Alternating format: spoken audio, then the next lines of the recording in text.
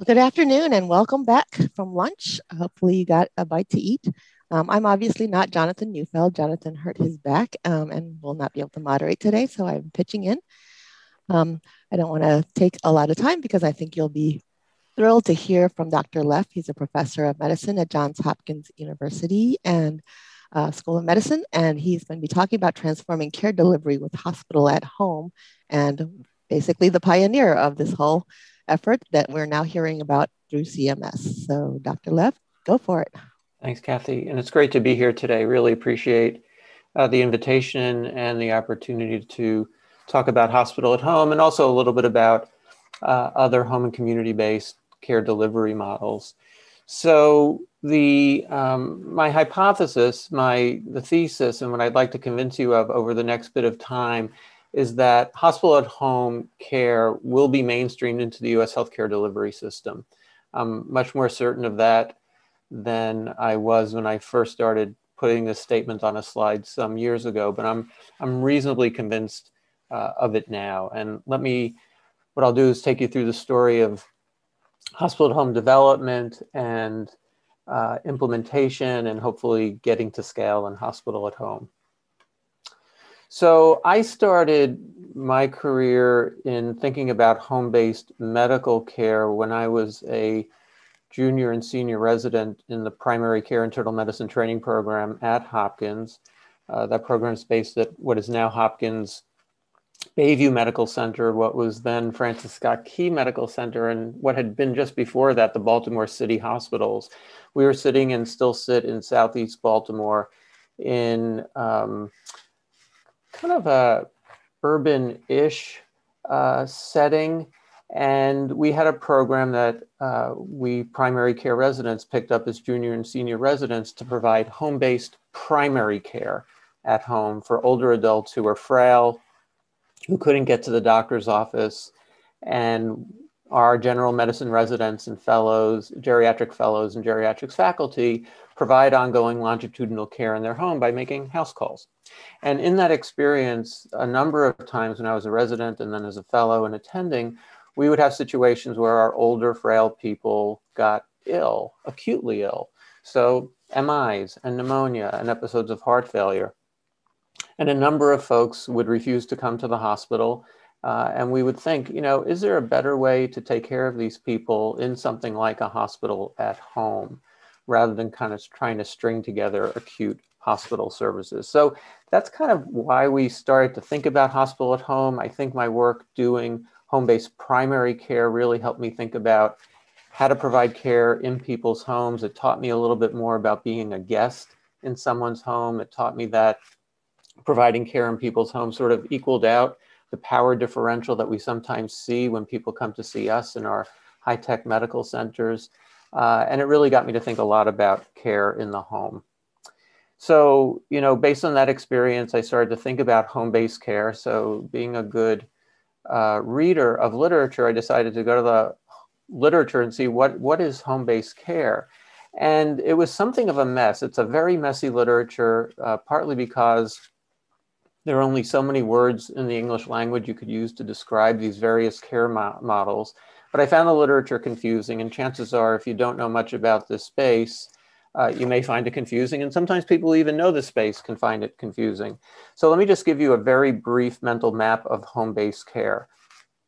So starting off on the left, you see a box for informal services. So this would be personal care services. So uh, uh, I'm getting older, I'm becoming a bit more frail, it's harder for me to take a bath or get up out of bed. And you know, my wife, who still loves me, I think, will help me with those activities and I don't pay her money, but she does a lot of that care. And there are probably about 10 or 15 million people in the US who are informal caregivers. If I don't have someone at home with me and I need help with those activities, I may actually need to pay someone to come into my home to do those things. Those are called formal personal care services. About 2 million people will pay for those services. Uh, and someone comes to your home and helps you with those things for however much time you want them to spend with you. Moving a bit over to the right, we have skilled home healthcare. So the Medicare skilled home healthcare benefit, it's actually a Part A Medicare benefit. It's provided in episodes of 30 days of care. The person needs to be homebound by Medicare definitions. And the thing about this, to get qualified for this service for skilled home health care, someone has to have what CMS calls, what Medicare calls a skilled need. That is something that has to be done by a skilled person, a physical therapist, an occupational therapist, a nurse. Those are skilled people. If, if I help my wife with an activity, I am not a skilled person uh, as a lay person. And CMS pays for that care on a prospective payment based on an incredibly complex formula. And about three and a half million people avail themselves of that service in the Medicare program each year. So about 10% of Medicare beneficiaries per year. Moving over a little bit more to the right, you have home-based primary care, and there are some variations on that that have been springing up. Uh, and this is like the program I described before, where physicians, nurse practitioners go out to the home and provide ongoing longitudinal care in the home to usually older adults. And then all the way over on the right, sort of the most acute kind of care you can provide in the home is hospital at home. And we'll talk a bit more about that. But as you go from left to right, you go from lower acuity to higher acuity care. You go from more of a chronic care construct towards an acute care construct. And you move from models where, you know, in the informal service model, there's little or no physician or nurse practitioner or advanced provider involvement to models where there's a high level of that. So this was the basic mental map I kind of got into my head earlier in my career. Uh, and if any of you have been following this space, you know that this space is just absolutely exploding. And I apologize here for a little bit of formatting that got a little bit messed up when we went to the bigger screen. But, you know, now you have uh, inserted into this early mental map a whole lot of new models that are moving into the home and community-based space. So in addition to home-based primary care up in the upper left here, you have home-based palliative care. So for folks with palliative care needs who are home limited or for whom it's difficult to get out of the home, there are companies now that will go out and provide sort of palliative care as an add-on service, as a co-management service to primary care. You've had a lot of in the development of transitional and post-acute care programs over the last two or three, two and a half decades. You now have companies and entities that will provide urgent care at home and on the phone. So you can order a house call on the phone now in certain places around the country. And if you've been following the recent uh, announcements by Amazon, the service that they offer to all their employees is going to be made available on a nationwide basis. So you can get a doc on the phone anytime to uh, assess you and tell you whether you need to be uh, can be taken care of at home with someone delivering a drug to your doorstep in a few minutes or whether you need to head to an urgent care or an ED been a lot of development of emergency medical service based models, EMS based models. So mobile integrated health and community uh, paramedicine have become more common and used not just to take people from home to a hospital e emergency department, but also to do, actually do and engage in case management services uh, and the like. Uh, you also have uh, coming down here to the lower left, formal personal care services, what I'll call formal personal care services plus. So I mentioned before, informal personal care, you know, you could have someone come into your home and provide, you know, give you a bath or help cook a meal or something like that. Those services are not always the easiest to obtain. Usually they're run through, through regular home health agencies. You usually have to buy about four hours of care at a time. You never know who's going to show up to your house to do the care. And now there are companies who will provide almost an Uber kind of service for personal care services. So you can go onto your phone and say, I would like a Mandarin speaking woman to come to my home tomorrow at 12 noon, stay for an hour and give me a bath. And you may, and you'll be able to get that if you live in certain cities now in the country, especially West Coast and sort of the higher tech kinds of cities. You're also seeing interventions uh, that I'll call uh, function-focused interventions. Function and functional impairment, that is the inability to do basic activities like bathing and dressing, are a major driver of cost. So if you have people with equal degrees of, of chronic illness, someone with functional impairment will cost on average three to five times as much in terms of health service utilization. So inter interventions like something called Capable, developed by Sarah Szanton here at Hopkins, a time-limited intervention of a nurse, OT, and handyman to actually help people improve function, and it actually does. uh, which is remarkable because there are very few interventions that actually improve physical function. And then a whole lot going on now in the realm of telemedicine and sensors and the development of the AI to support uh, all of that.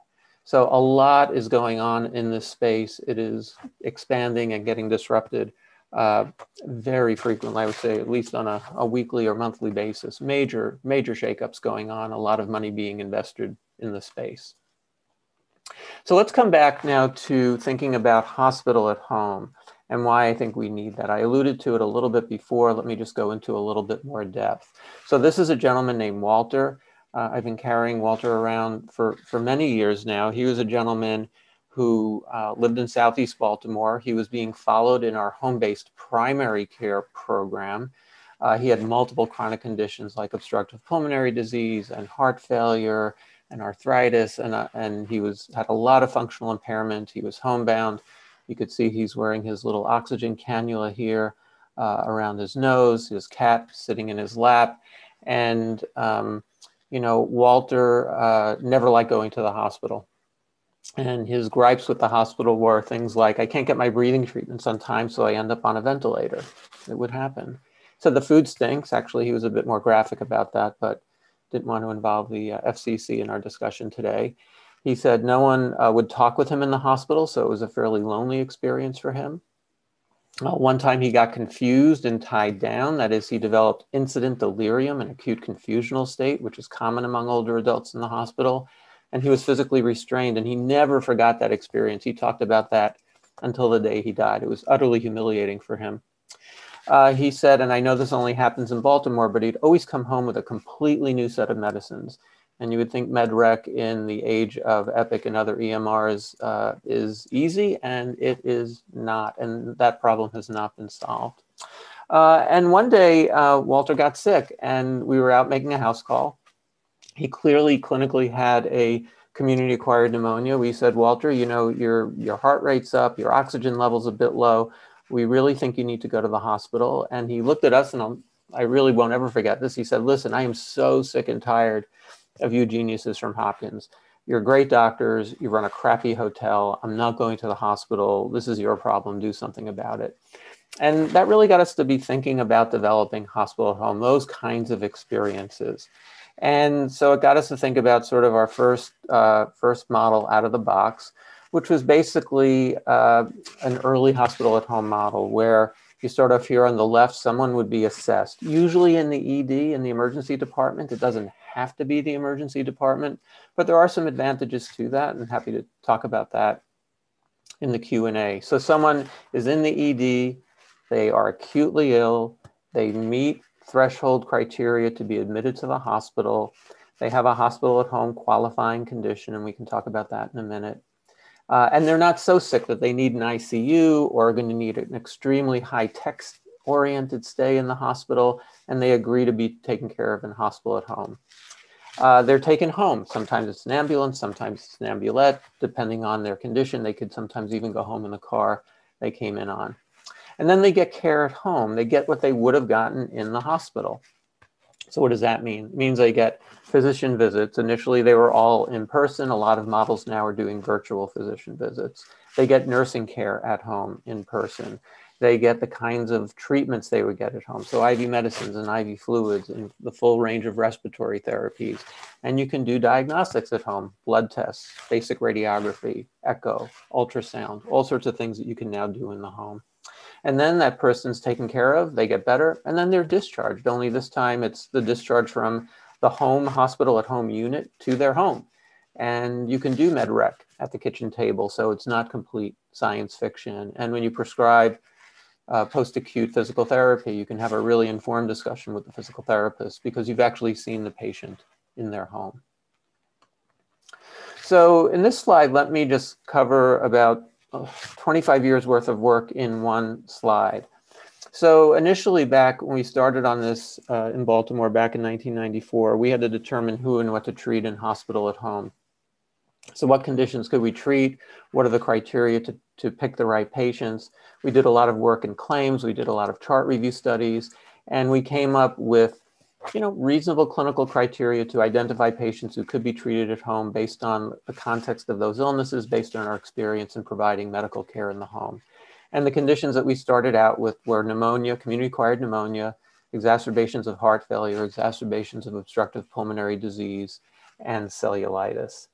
Uh, the next thing we did is we did some early studies after developing some eligibility criteria to choose the right patients. We did some early studies to see if patients would want this kind of care. You know, if we build it, would patients come? And even in the late 90s, when we described this model to people who were eligible for hospital at home on the day after they were admitted to the actual hospital and described the model, the majority of folks said that if someone had come up to me in the ED and said, would you like to go home if we can provide this kind of care? Most of them said yes. We then did in the late 90s some early pilot studies at Hopkins. Took us a while to get those studies through our research boards, our IRBs. Uh, and we did basically a case series of patients, about 20 patients or so, and basically proved that if we provided acute hospital care at home, people's heads would not explode. They would actually have a good clinical experience. Uh, we, it was feasible to provide this care, and it actually was less costly than typical hospital care by about 20 or 30%. We then um, went to CMS, the Center for Medicare and Medicaid Studies uh, Services. Those are the folks who manage the Medicare program. Their offices are in Baltimore, so it's a short ride for us. And we went to them starting in the mid late 90s, asking them for a payment mechanism, a payment waiver to provide hospital care and get paid for it.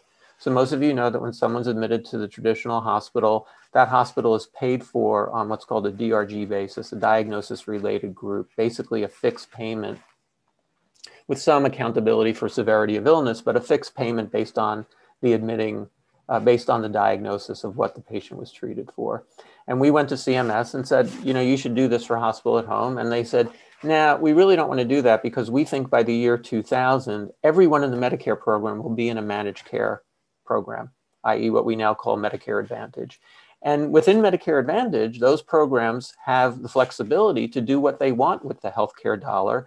And they said, you know what, you should go to Medicare Advantage plans and do a larger study of hospital at home. And so we didn't really have a choice, and that's what we did. So we uh, found a bunch of managed care, Medicare managed care programs around the country. In addition, uh, Veterans Affairs Hospital and veteran, the Veterans Affairs Hospitals health centers are good for this because they operate under a globally budgeted system. So they also have freedom to do what they want with the healthcare dollar. And we actually did a national demonstration and evaluation study of hospital at home, which we published in 2005. Uh, we'll tell you about those results in a moment. Since that time, we've been involved in a lot of dissemination activities. I'll talk about that. And then in 2014, in collaboration with colleagues at Mount Sinai in New York, we did a Center for Medicare and Medicaid Innovation demonstration study of hospital at home, and I'll tell you about that in a moment. And then after that, we've been working a lot on implementation and uh, payment issues related to hospital at home. So these were the results from our national demonstration study, which we did in three Medicare Advantage plans and a VA medical center uh, and published this in Annals of Internal Medicine back in 05. And what we found was that hospital at home, that first of all, people opted in for hospital at home. They wanted this kind of care. Uh, so 61% chose hospital at home when offered to them.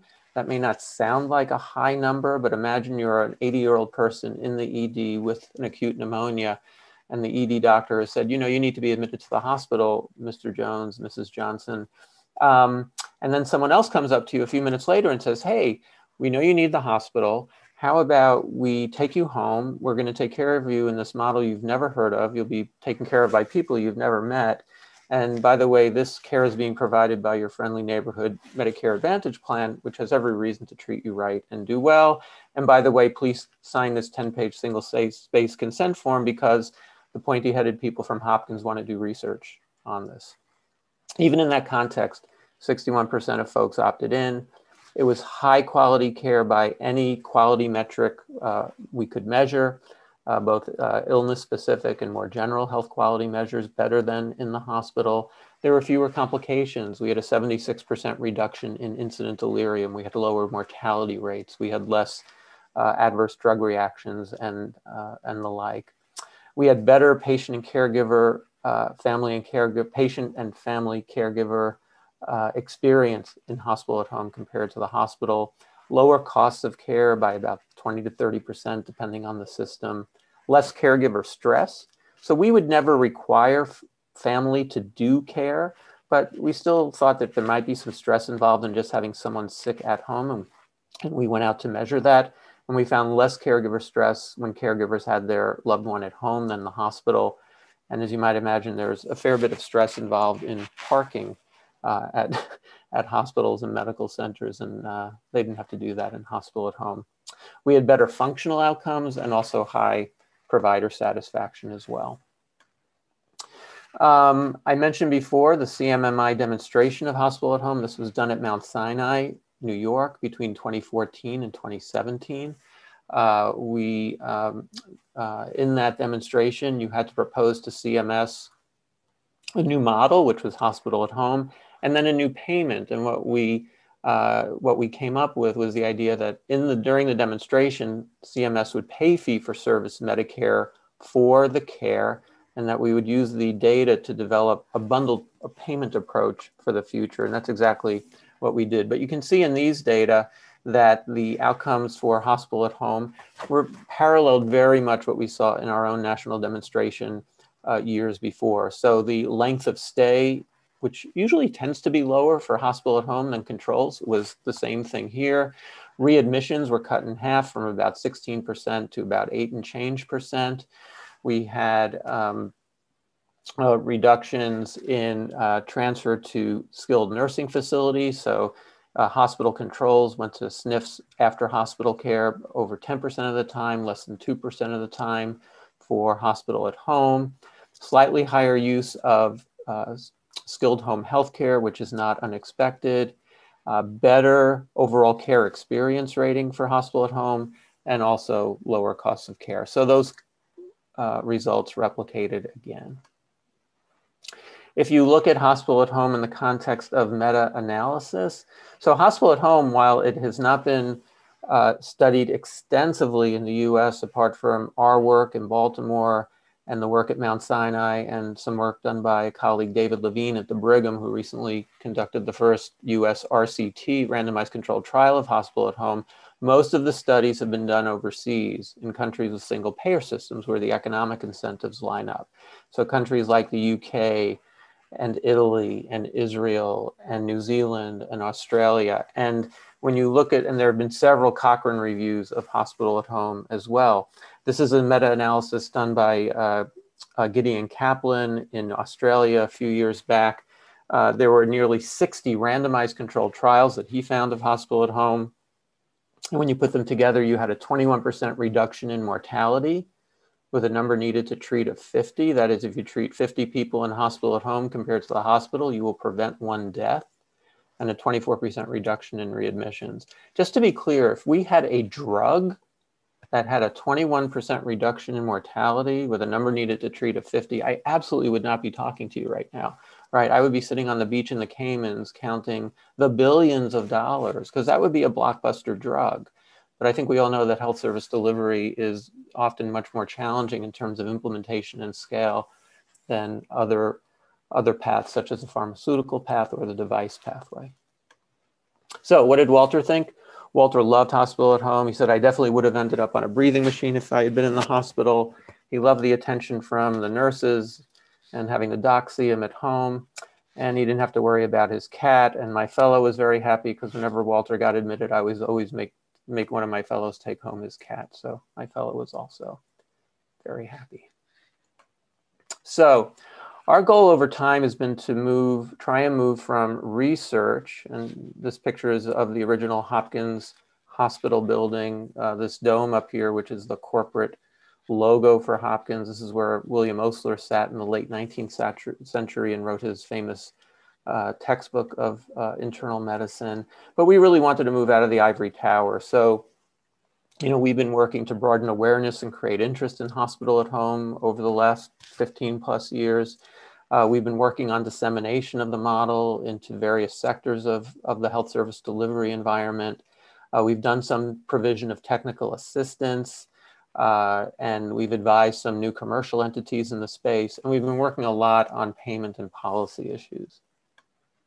So one thing to think about in the context of hospital at home is, you know, once you have the ability to do acute hospital at home, that is, take someone who's acutely ill, who shows up in the ED, take them directly home and provide their hospital care at home, you can start riffing off of that set of competencies to do a bunch of other things, which are also substitutive of providing care in facilities. And a lot of this work grew out of the work that we did during the CMMI demo at Mount Sinai. We had originally intended in that research and in that demo to just do what we call acute substitute of hospital at home, that is ED to home. But we found that once we created that, we could do other things at home.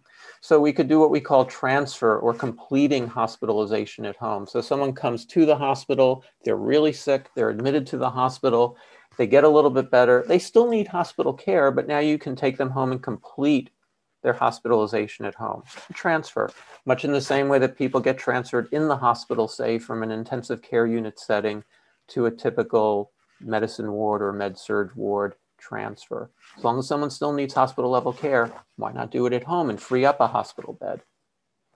You can do an observation stay at home. And then if someone stays in their observation status for more than two midnights, you can transfer them into your hospital at home we found that during the CMMI demo that there were older adults who were really should have been enrolled in hospice or really were in the palliative care uh, uh, sort of trajectory of their healthcare journey.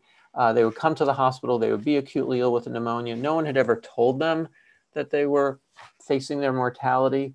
Uh, we would take care of them in hospital at home, have a lot of discussions about advanced directives, and often get them into hospice. We also found hospital averse at home. That is, people who were really too sick for hospital at home show up in the ED and were absolutely refusing to go to the hospital. And we would sometimes provide care to them. And then another model, rehab at home. So basically, skilled nursing facility care at home instead of care post acute care in a skilled nursing facility for people who had a rehab focused skilled nursing facility stay coming up. This all built out at Mount Sinai on a foundation of home based primary care and that hospital at home acute substitutive care. And now, you know, you even see uh, the development now of something that's not even on the slide ED at home. You know, so you actually, there are ways to do a lot of emergency department care at home instead of showing up uh, in the ED, a lot of interest in oncology at home. So you know, one of my goals and the goals of, of people who are in the space is to really mainstream and scale hospital uh, at home. And I think there are a few things that we need to think of uh, in that context. So, uh, one major thing to think about is the issue of leadership and culture change in healthcare. So, what you see there, that picture of the bicycle, it's kind of a weird thing. You see those gears in the middle. This is a backwards bicycle and uh, all of you, I don't think I'm going to take my full time today, and and maybe the Q and A won't either. But in the time that we're going to give back to you in your life, go on YouTube and just put into the search engine "backward bicycle," and you'll see a video. A guy has folks build him this bicycle where when you turn the handlebars to the left, the wheel goes to the right. And the guy thought it would take him about a few hours to learn how to ride this bicycle, and it took him about six or eight months, right? And he uses it as a metaphor for the challenge of changing things in any sphere that are very hardwired, where there are very hardwired processes in place, right? You learn how to ride a bicycle, you know how to ride a bicycle, you get on a bicycle, you don't even think about it, you ride the damn bicycle. And I think that's what we see a lot of in healthcare as well. You know, we're used to providing facility based care, we're used to providing care in clinics, in hospitals. We have designed the system to serve that paradigm. And it gets very hard when you get out of that paradigm.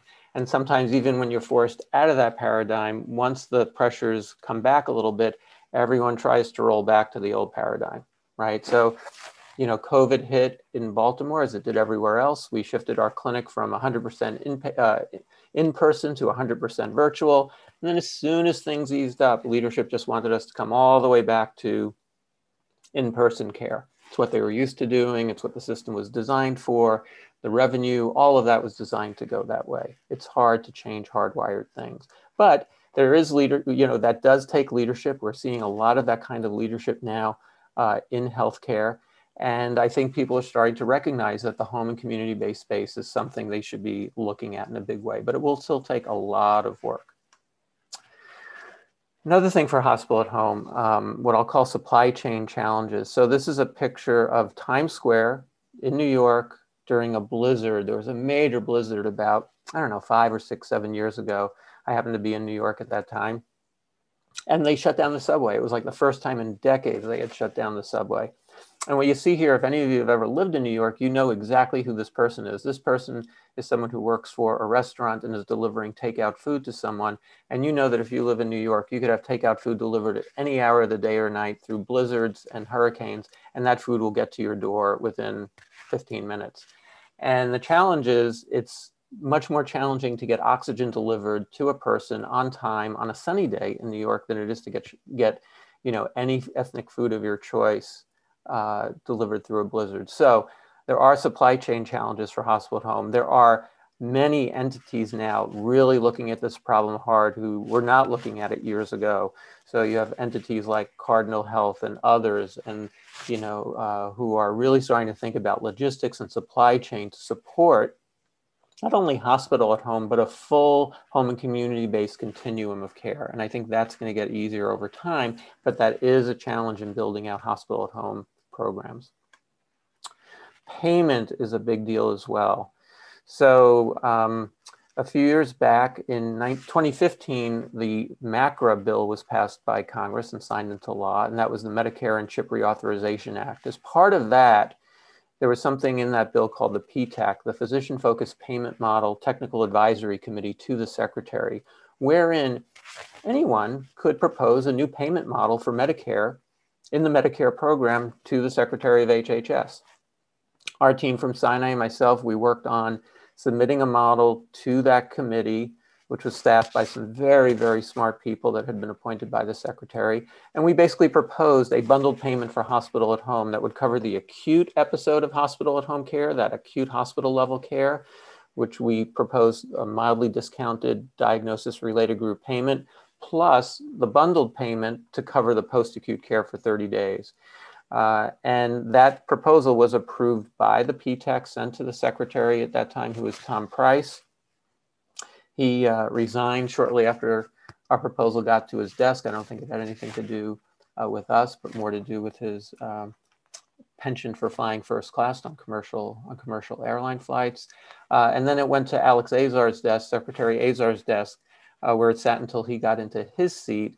And he declined pretty much all the proposals that came through the PTAC, but he did recommend that CMS continue to talk with us about hospital at home, and those discussions uh, have been have been ongoing, to the extent that in uh, latter part of 2020, CMS got very interested in hospital at home again, and they actually came up with a hospital-based payment waiver for hospital at home. And the reason they got very interested in this uh, was basically the COVID pandemic. And there was anxiety uh, at the federal level that as we were edging into the winter, that hospitals would lack capacity.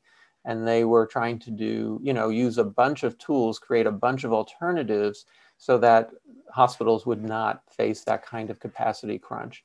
So they created a hospital-based payment waiver for hospital at home uh, what this hospital-based payment waiver provides is that for hospitals that can prove to CMS through a actually, quite honestly, a fairly straightforward and fairly easy application process, they can prove to CMS that they have the wherewithal to provide hospital at home care. CMS provides a waiver to that hospital to pay a hospital, a full hospital DRG payment for hospital at home care. Uh, so that waiver went in on November 25th. And as of last week or the week before, 110 hospitals had applied for and gotten that waiver from hospital from CMS. So that's about somewhere between two and three percent of U.S. hospitals.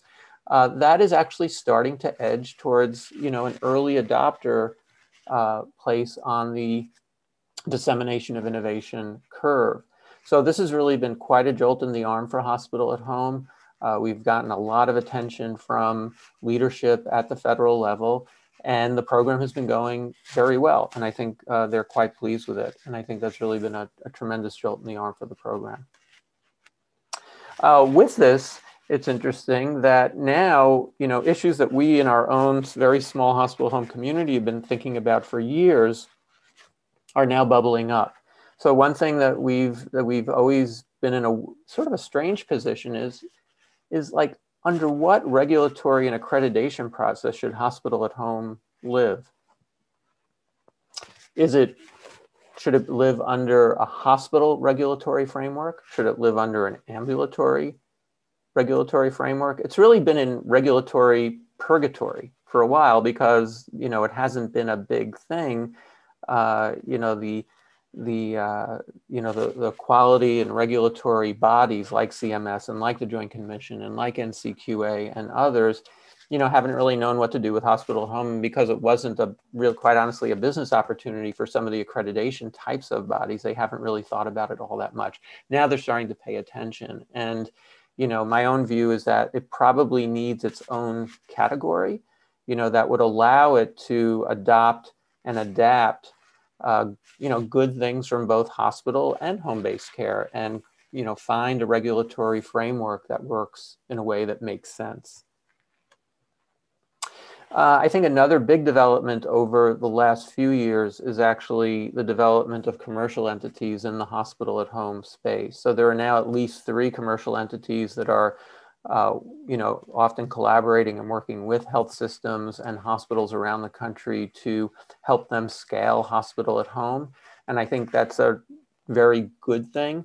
You know, you to scale this, you do need capital. You do need people waking up every day and making this their their job. Uh, and I think that's also been a good development for the field.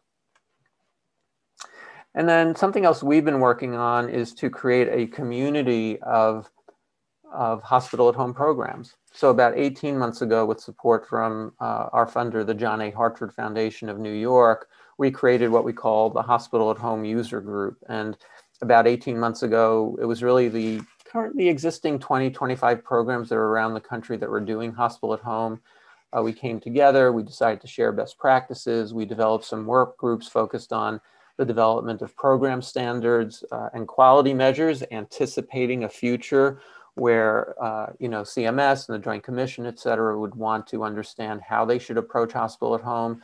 Another uh, work group working on payment and regulatory issues. We're doing collaborative research and collaborative advocacy.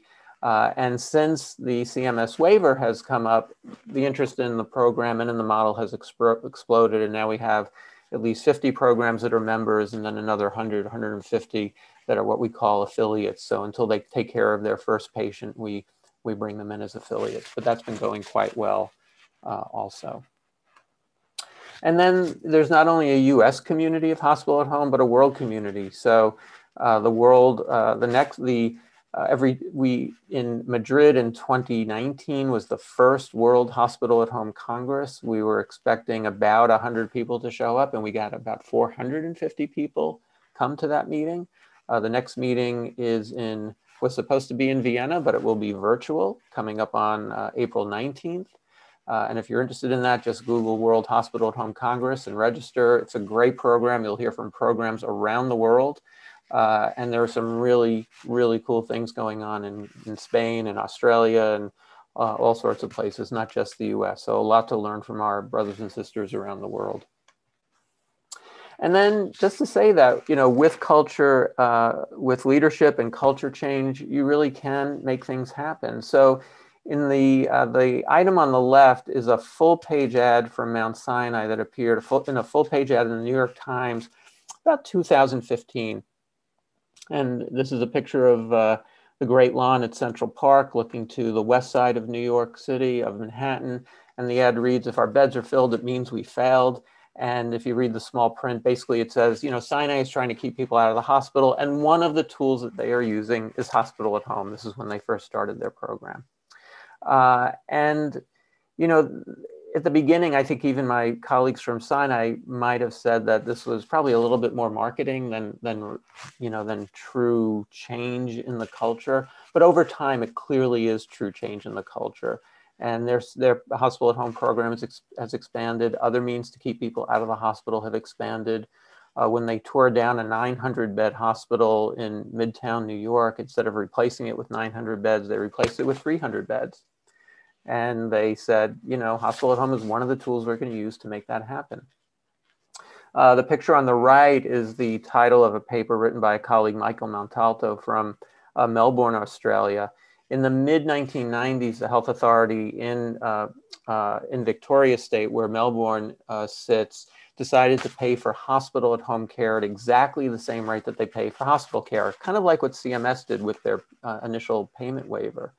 Uh, and what their own health authority um, assessed a few years later is that had they not had to do, had they not done that, they would have had to have built another 500 bed hospital in Melbourne. And it costs, depending on where you build a hospital in the US, it costs between two and five million dollars to capitalize a single hospital at home bed right? If you do, if you build a bed in San Francisco, it has to be earthquake proof. It's very expensive. So if you have a 500 bed hospital at 2 million per bed, that's a billion dollars of avoided cost, of avoided fixed cost that you're building. Not even to mention the fact that once you build the thing, you have to start filling it with with people in the beds. Otherwise, you know, you, you don't make your you don't make your business model. So things can really change. The other thing I mentioned early in the talk, and just to put out here, is I, I really start to, I do, I work not only in the context of hospital at home, but I think a lot about home-based primary care and other home-based models. And I think what we have now is the fact that hospital at home is really just one component of a full home-based medical care continuum. Right, you have models like home-based primary care and home-based integrated medical and social care. You have models of home-based primary care co-management, a lot of entities entering that space. We mentioned home-based palliative care, uh, rehabilitation at home, community paramedicine. And these models, you know, under the right set of conditions could now be put together to really provide a full continuum of home-based medical care, start to link that up with long-term social supports, and you can really see things change. And I think that is the exciting thing to think about uh, for the future.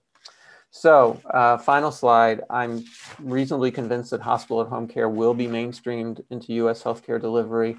I don't know what the lag is. That, is, that I find is the hardest thing to predict uh, in healthcare is how long change takes. But um, things go slow until they go fast, and they've really been going fast over the last year or so. So I'll stop there. Uh, and I think I'm under time, if anything. So I think we'll have uh, time for questions. And Kathy, take it away. Yeah, awesome. There are a whole bunch of questions, and I am still amazed that you started this back in the 90s. Um, so the first question is As an ER doctor, it is most frustrating to see so many bounce backs who would do so much better in hospital at home. How can we best work across disciplines to make this attractive to payers? Yeah, it's a great question. And so, first of all, uh, I, I, really appreciate the fact that that that question is coming from uh, an emergency medicine physician.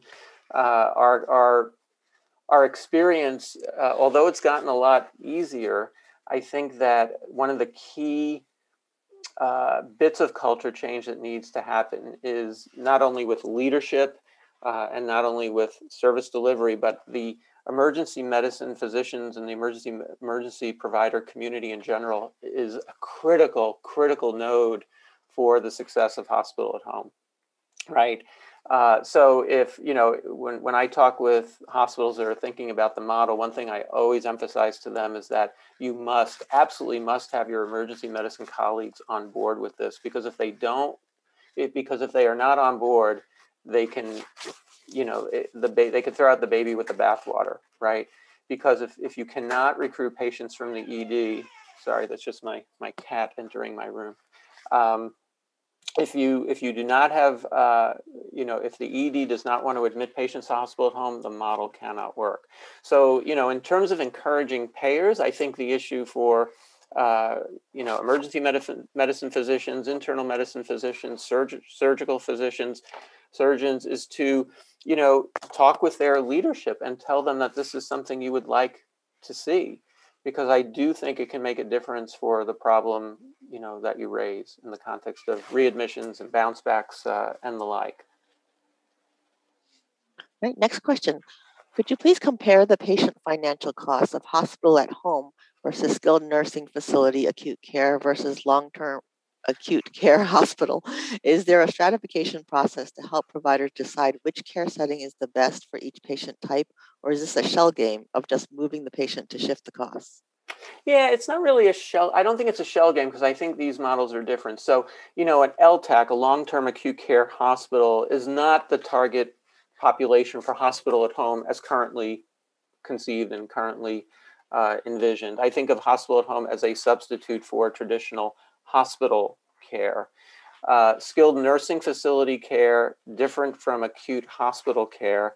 And there are uh, models of hospital at home type care that can substitute for a skilled nursing facility care. So I think uh, on that slide where I, I, talked about that platform, that set of, of models, we had that box for rehabilitation at home. So that I think of as a skilled nursing facility substitutive model. So that's that. So not really a shell game, but truly a substitution for that piece of the care continuum. Hospital at home substituting for hospital care.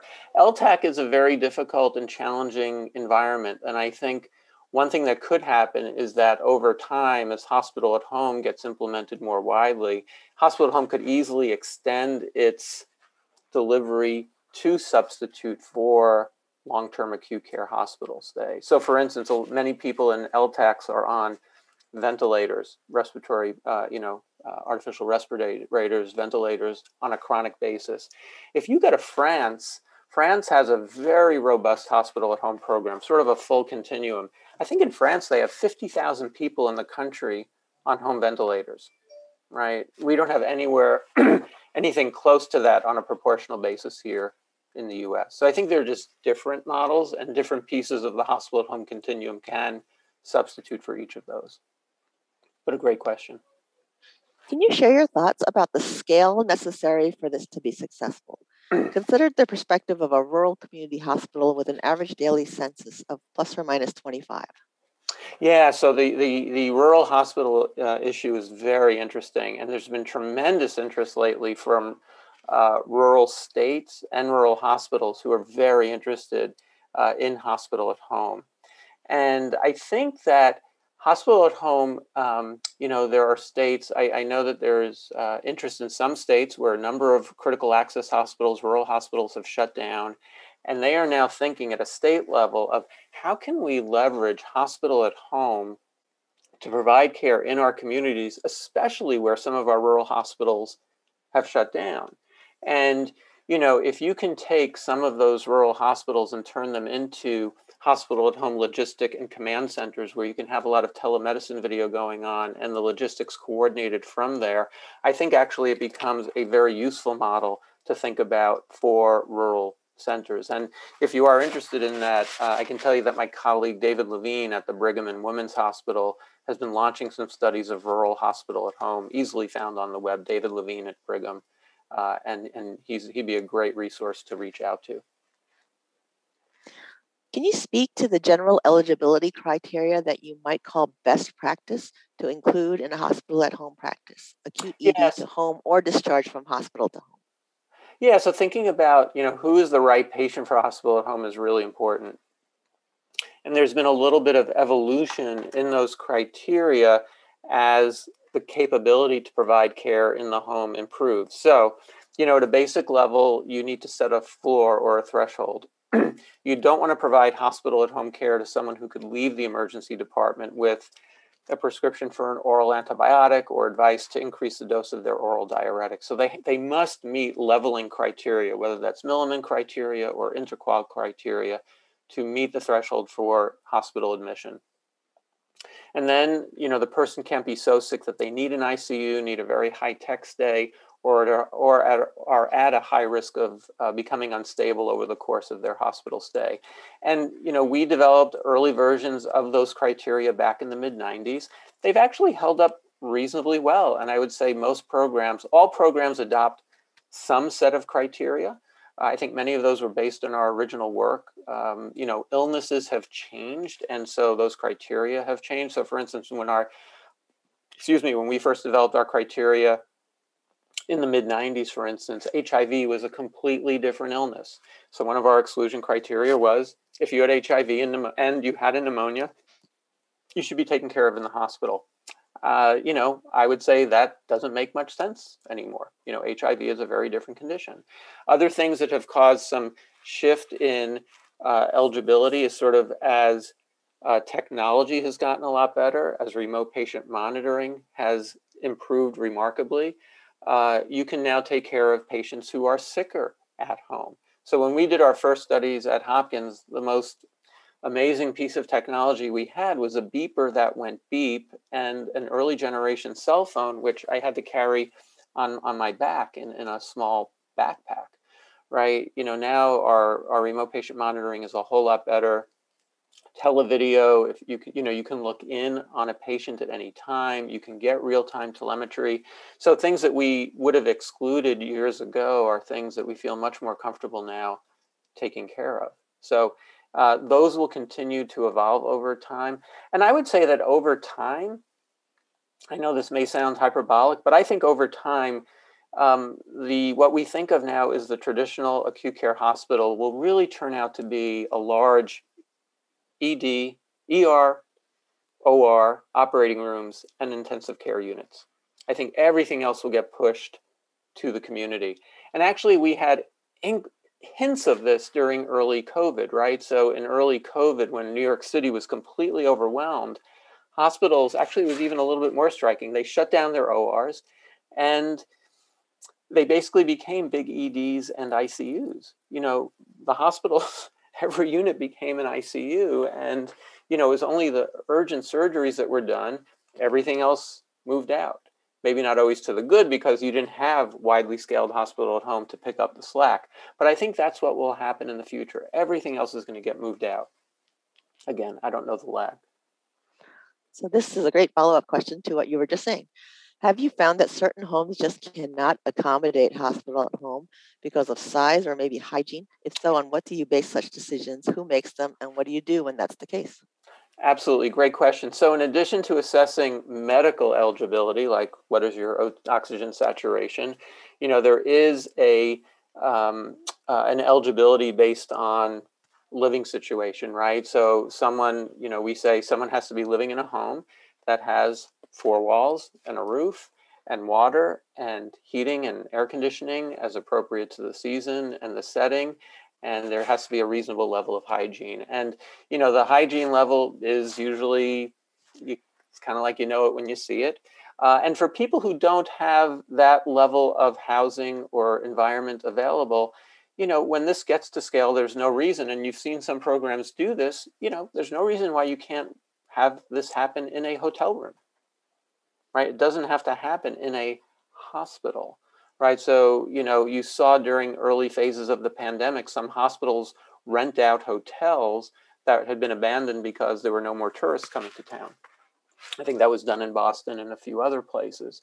And in those spots, you can provide hospital at home care. It's not your home, but it's a home, and it's not it's not quite the hospital. So I think that's a great question, and that's kind of how it's been been approached. But I think it also gets to the issue of thinking about uh, diversity and equity and inclusion in the context of hospital at home. And I would say that that's been an area that's been um, understudied in hospital at home. We actually have some grant funding to start to look at that. You know, you could imagine that um, hospital at home could promote uh, equity in healthcare delivery. You could also hypothesize that it could go the other way and we just don't have the data on that yet. We're going to start to start to look at it but it is a great great thing to start to think about. And i know that over the years i've been approached by some health systems that have said you know we'd really like to try hospital at home but maybe we want to focus it on our um, on our medicaid population. And i always tell those people that is the biggest mistake i've ever heard. That is like the stupidest thing i've heard in my life because if something goes wrong you're going to end up getting a a it's just a bad approach because it's not an equitable approach to healthcare. B when something goes wrong, and eventually something will go wrong, um, you're going to end up on the front page and, and you'll be accused appropriately of, of providing different levels of care to people, even though the data suggests that in many ways hospital at home is better care than that which is traditionally delivered in the hospital for certain populations but that's not a uniform perception that's that's a data driven one so it's a great question. Terrific question. Here's another interesting question. If you are able to discuss this has the Johns Hopkins university malpractice carrier increased your premiums as a result of expanding hospital at home? And also if you can discuss by how much. Yeah, so it's an easy question. The A, I don't know the answer, but the reason I don't know the answer is that after we did our initial studies at Hopkins, because we live in a very fee for service world here in Baltimore, actually, Maryland's a little bit weird, but it is essentially still fee for service. Hopkins has not done hospital at home because they couldn't get paid for it. Now, with the waiver from CMS, they are looking to get back into that service line but they they they are not in it right now. They're right in the middle of trying to figure out what their next step is. But i can tell you for systems that i know have done hospital at home i've not heard any any issues related to um, uh, insurance coverage. And i would hypothesize that um, if anything insurance premiums should go down. I mean my reading of the medical malpractice literature is that a lot of actions happen because of inadequate or poor communication you know more than bad outcome right? If you have a bad outcome but the doc or the professionals have been having good communication with people usually that does not result in a malpractice suit and i think hospital at home as well as other home-based uh, delivery models the risk of malpractice suits actually goes down and i think that's because when you're a provider, you're a clinician in someone's home, it feels very different than when I'm in the hospital. And I'm a little embarrassed to say it, but I think I'm a better doctor when I'm in someone's home. I do act, I think, a little bit differently. The power differential is, you know, we're on much more of an even playing field. And, um, you know, I can't get away with stuff because it's not my, I'm on their turf. I'm not on my own turf. It, it just feels different. And I think that actually contributes to better communication uh, you know, people being a little bit more patient with one another, people willing to go the extra mile, all those things that mitigate against those kinds of results. But that'll be it'll be interesting to see how that plays out over the years. Yeah, great, great perspective on that. How can tele-rehab services be introduced to patients who are discharging home? I own a telepractice company that offers speech therapy services to adults and geriatrics. I would love to provide some services, but I'm unsure how to go about this. Yeah, so you know that tele rehab, whether it's speech therapy, occupational therapy, physical therapy, you know, I think those, um, you know, most of the hospital home models have not yet been uh, rehabilitation focus That's so you know rehabilitation at home or that SNF care provided at home. I think that will become more common, and I think over time people will end up knocking on your door because the kind of expertise that you have in, in that speech therapy is sometimes very hard, very hard to come by. So I think the, you know, where I would be reaching out in the current environment would be probably with Medicare Advantage plans who, um, you know, uh, who may be contracting for those kinds of services. And they're usually very particular about the kinds of post acute services, whether it's post stroke or just simple, you know, post acute skilled care at home. That would be the first place I would look. But I think over time, as rehab at home develops as a model. Remember, there's still no payment model for that. Um, but as payment models evolve for that, I think uh, you'll be in demand. So, one of the challenges we see for hospital at home is food, getting folks a healthy diet to support recovery at home. Transition from hospital to home is a focus area for that work. Is there collaboration between hospital at home and medically tailored meals or similar programs?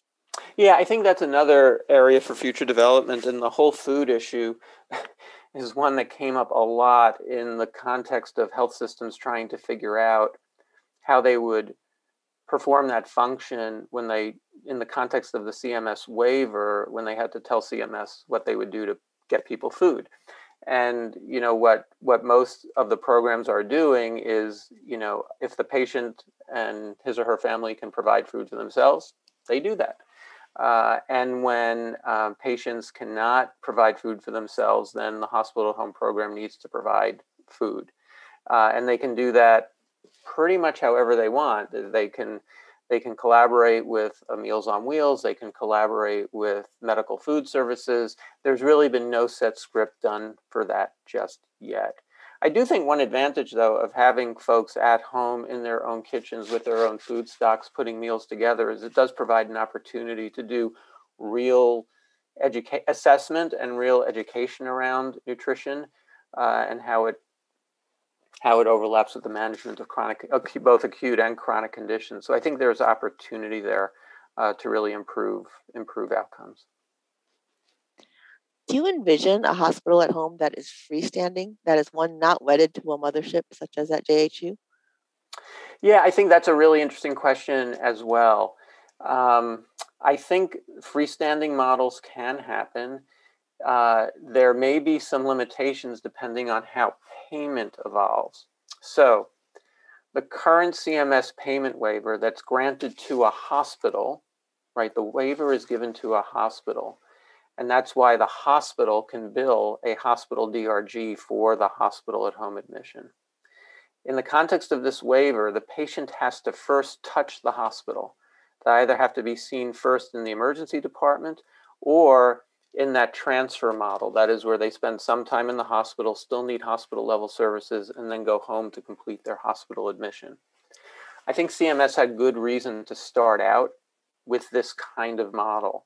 I think they were, um, you know, the inference that I drew from how the waiver was uh, written is that there may have been some anxiety that uh, they were anxious that there may be some bad actors who could get into this space and they did not want to uh, risk uh, the safety of beneficiaries in that in that context. And they thought that hospitals that are doing this would have strong motivation if they are getting paid a hospital level DRG and they know that they're being scrutinized by CMS uh, because they actually have to report data on a very regular basis to CMS as the waiver goes forward, that they would be highly incentivized to provide safe care you know how that will go in the future is unclear. Could could you imagine freestanding hospitals at home uh, competing with uh, traditional hospitals? It's possible, uh, but it could get a little bit interesting and a little bit a little bit ugly.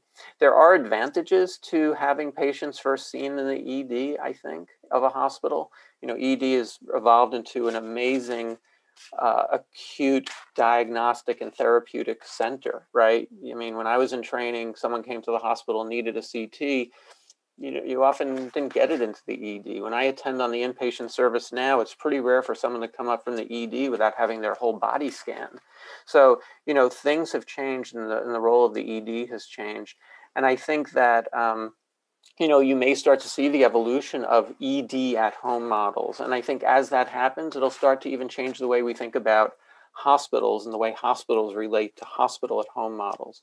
Um, but, you know, I think there are advantages to um, think about safety. I think there are advantages to presenting this to the public. If, if, if someone receiving the care understands that the hospital at home unit they're being taken care of is actually part of a larger hospital system. It may give them a little bit more confidence that this is a real thing.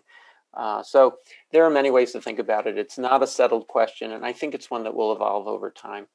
I mean, one thing that I've often thought about is imagine a hospital at home unit that covers a whole city agnostic to the health system, but health systems within a geography say, why do each one of us have to build a hospital at home?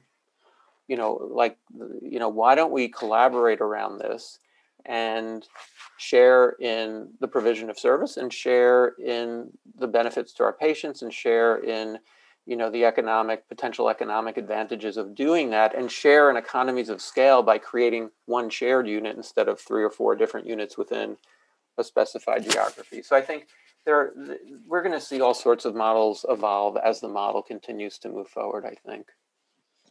I think this question kind of hits on that. Can you accept the transfer from another e- er and that sounds like a future model thing.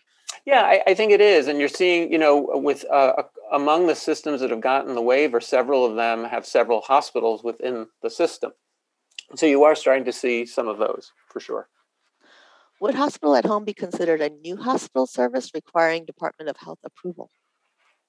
That's a really interesting question. States have taken very different approaches to this. some states have been a little bit painful uh, and they want to scrutinize it from top to bottom. And some uh, states have said, you know what? If CMS has passed muster on this, we're just going to adopt their stuff and move on because we would like to see this move forward in our jurisdiction as well. So you're seeing a variety of things there. You know, it's the United States of everyone wants to do their own thing kind of thing. There you go. So, what standards or guidelines are in place right now to keep the person going into the home uh, to provide care safe?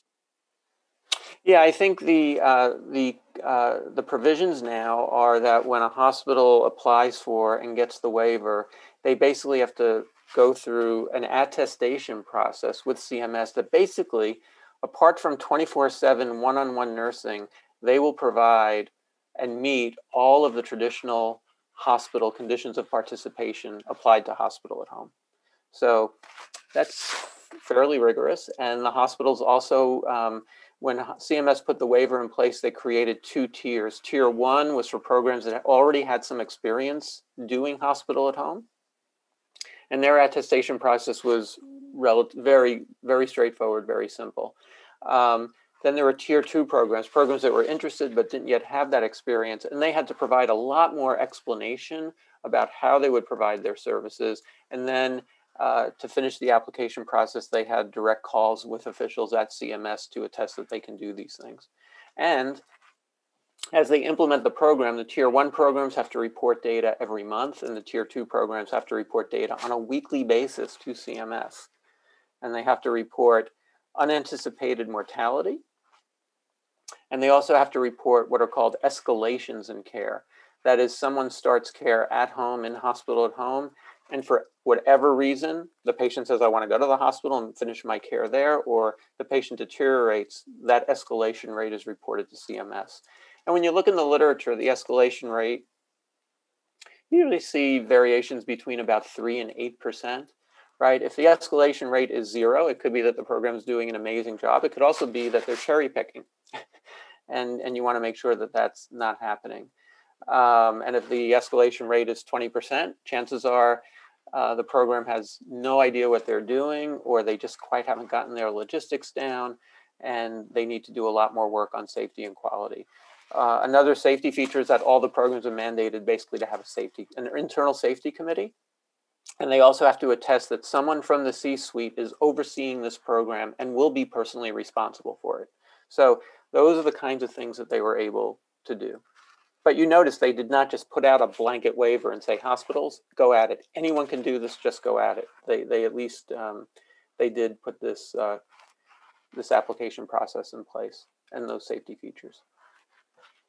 Great. So, have you seen any use of hospital at home within the ACO model as a win win collaboration? Yeah, I think it's a great model. Um, you know, ACOs, um, I think it is a it's potentially a great model for ACOs. I think ACOs sometimes get a little bit anxious because unlike unlike managed care, they don't always know their population prospectively. It's only a little bit after the fact. But I do think it'd be a great model for ACOs. There's been a lot of interest among physicians, especially the physician led ACOs, the ones that are not hospital based. But again, for them to be successful, and I think they can be successful, they do need, at this point at least, to collaborate with hospitals to provide uh, hospital at home care. You need that partnership right now.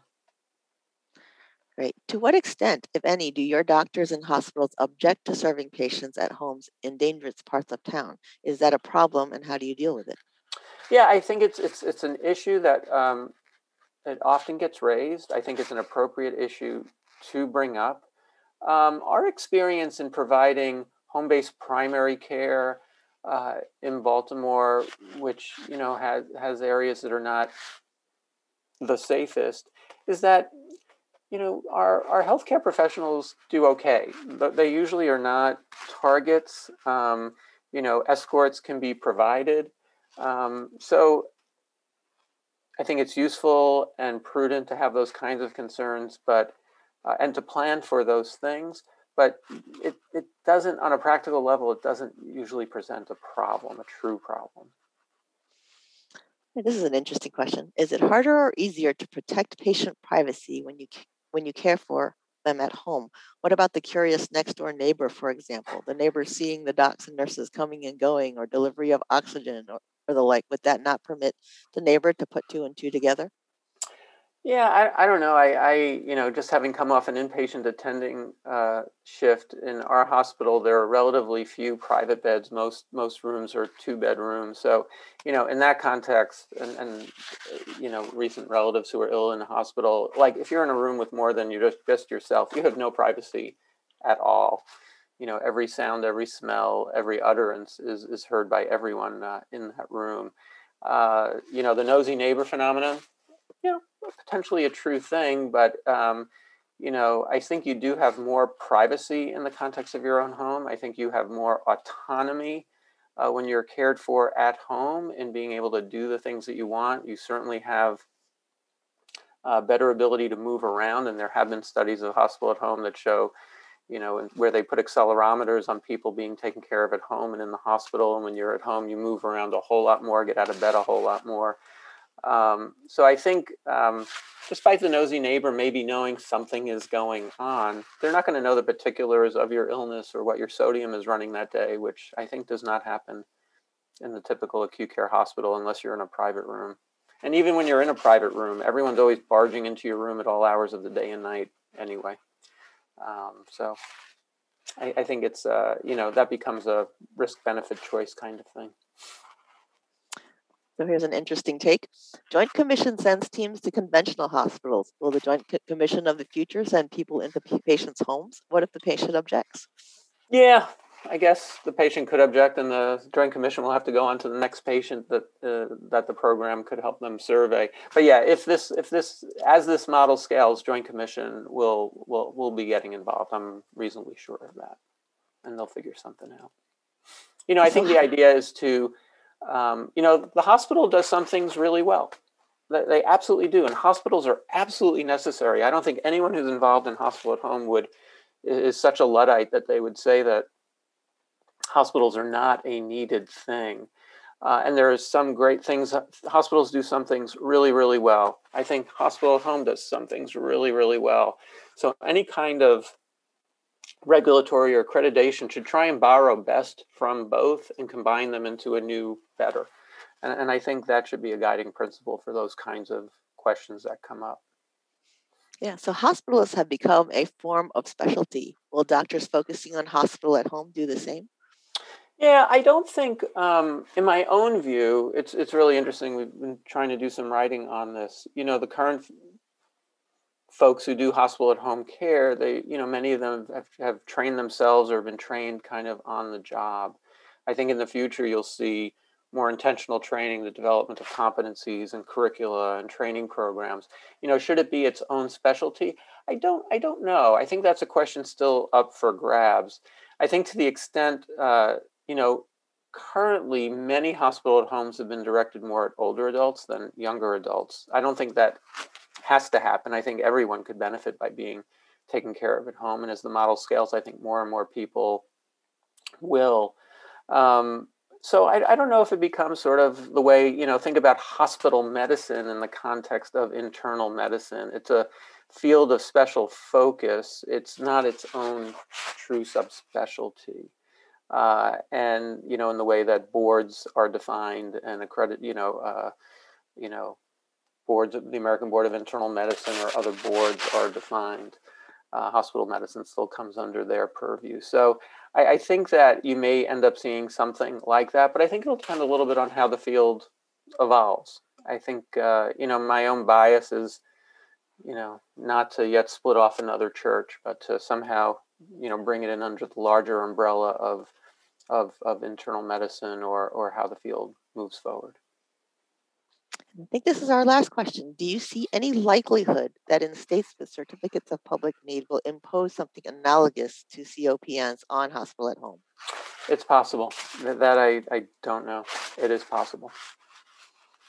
I mean, my preference would be to have them adopt the federal standards if, if those are meet their standards. But you know, state uh, state prerogatives are hard to predict.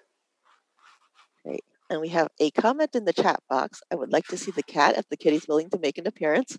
And two, uh, there is actually one more question. What about medications and IV drugs? Would that be provided from retail pharmacy or inpatient pharmacy? Yes, and yes, and yes. And if you want to hear the answer to that, and if, if your meeting ends early, there's the Hospital at Home Users Group, which I mentioned before, is having a webinar on pharmacy and medication uh, issues at four o'clock today. I don't want to compete, but it'll be Fantastic. online recorded, so you can come watch our recorded version. Don't don't miss the conference here. And we are right at the end of our session. So thank you so much Great. for sharing this your was wealth of knowledge. Thanks for having me. The, amazing. Um, thank you all for joining us. And please visit the exhibit hall or our poster sessions that are all uh, happening next after this. And thanks again. Great.